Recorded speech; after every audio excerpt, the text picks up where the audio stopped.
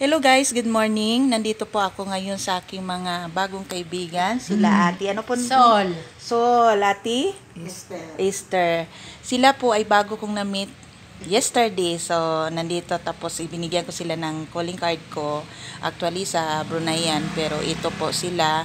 ah, gusto ko endorse. Tapos ito po, humahawak si ate na ngayon sabon. Oh, oh. Alam niyo na po ba talaga yan? Oo. Ah, oh, sa kayo, kayo po.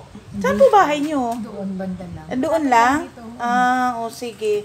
Kahapon, kagabi, sabi ko sa anak ko, anak, ah, may namit akong mga nanay mo soon, pag alis ko.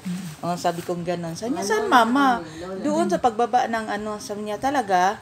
Oo, eh, kwento ka nga, akala nila kapatid kita. Tapos yun nga, sabi ko sa kanya, sabi niya, ah, okay mama.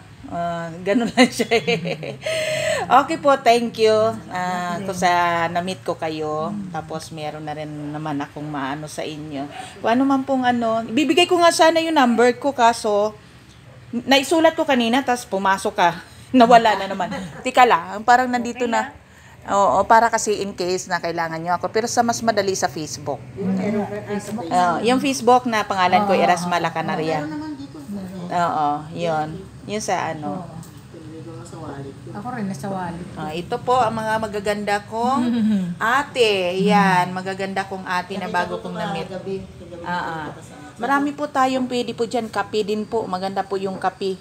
Yung sa umaga. Kasi yung mga, minsan yung mga sakit-sakit natin sa paa. Tapos minsan yung may mga dahak-dahak tayo, plima. Ang ganda po noon. Tapos minsan parang sinisikmura tayo. Napakaganda po noon. Meron tayong flavor na latte, tapos cappuccino. Ako iniinom ko cappuccino eh. Tapos ano original, yung original parang yung barako. Oo. Yung apo ko tsaka anak ko, ang uminom nila, tsaka Ah, yun, maganda din po yun. Tapos ano, ah, meron tayong ah, sugar free. So, para sa mga diabetic o high blood. O, pero actually, yung ibang mga coffee naman doon, pwede rin sa mga high blood or mga normal na ano. So, thank you. Thank you guys. Ito na naman ang aking mga na-interview. Ang mga beautiful. Ayan sila ate. Ito ang aking bagong neighbor. Sa Paliparan, Dasma. Okay, thank you guys. God bless. See you soon.